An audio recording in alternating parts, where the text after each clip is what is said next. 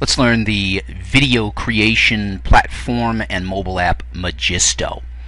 And this is Magisto, which is similar to Animoto.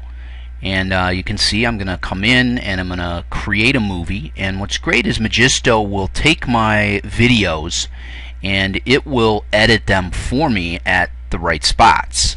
So I just come in and I'm going to go to select once I uh, have videos in a certain place on my phone or other device or computer and I go in and grab whatever video I want. And uh, I'm going to get a few here just for uh, this video. So I'm going to get uh, three videos and I'm going to allow Magisto to turn them into one movie so as you can see, I've got my three videos, and they probably are four or five minutes total, but let's take a look at what Magisto will do.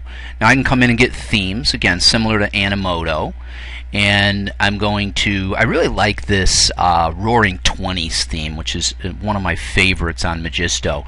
And this is a great feature. Now what Magisto does is it matches the music to the theme. So you see here all of these 20s style songs or artists. So I pick one and then I click create and um, now it, it's going to take a little bit of time, a little bit longer than Animoto because it's doing some really interesting things. Let's look at some other features while it's mixing. So if I go to popular, I've got sort of a social network of video here and um, I can come in and there's a lot of great things and I could share these out and tweet them out and comment on them. So I found this uh, trading post surf video uh, that I liked, so I just clicked into that. I can come over and comment on it. And uh, again I can share it out. I could tweet it. I could Facebook it say hey cool video. I can check the info on it if I want to see um, what's involved on the video how it's produced who did it. Uh, I can if I don't like content I can flag it report it but uh, I think you can find the things on uh, Magisto are, are pretty good and, and great for students.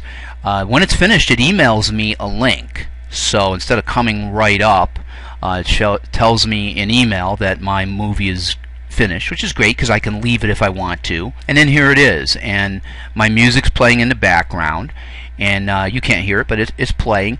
And now I've taken what amounts to, as I said, probably three, four, five minutes of video, and Magisto has cut it down. And notice the edits now. This was a, I think maybe a Christmas time video. Look at that really cool transition uh, away to a different part of the same video. And then you'll see there'll be another transition here. Now this is a completely different video.